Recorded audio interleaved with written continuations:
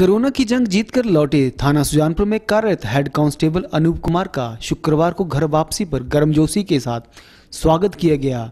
दोपहर बाद जैसे ही हेड कांस्टेबल रोगी वाहन में थाना परिसर के बाहर पहुँचे तो वहाँ पर मौजूद थाना प्रभारी स्वास्थ्य शास्त्री एएसआई राकेश कुमार, मदन कुमार के साथ दर्जनों पुलिसकर्मियों ने उनका गर्मजोशी के साथ स्वागत किया। ढोल नगाड़ों की थाप पर तालियाँ बजाते हुए उन्हें बधाई दी और शुभकामनाएँ दी। इस मौके पर हेड कांस्टेबल अनूप कुमार ने भी सभी विभागीय उच्च अधिकारियों के साथ साथ थाना प्रभारी सुभाष शास्त्री एवं तमाम पुलिसकर्मियों का धन्यवाद किया और कहा, जिस तरह से स्वास्थ्य विभाग की टीम डॉक्टर नर्स के साथ जिला प्रशासन संक्रमित रोगियों के ख्याल रख रहा है वह काबिल तारीफ़ है।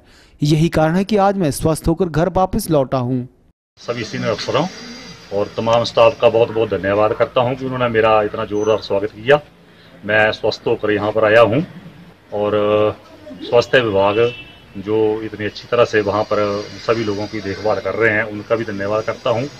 प्रशासन का भी धन्यवाद है और मेरी लोगों से भी अपील है कि कृपया अपनी सुरक्षा जो है वो स्वयं करें और किसी प्रकार की जो है वो ढील ना दें।